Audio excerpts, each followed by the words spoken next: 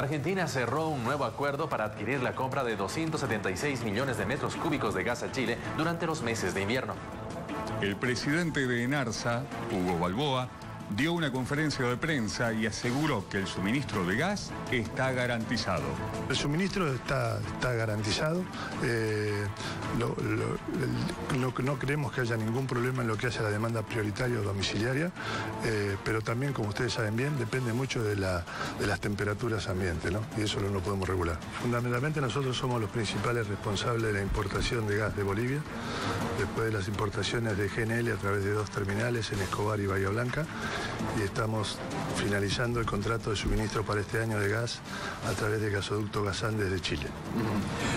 ¿Va a aumentar el nivel de importación este año?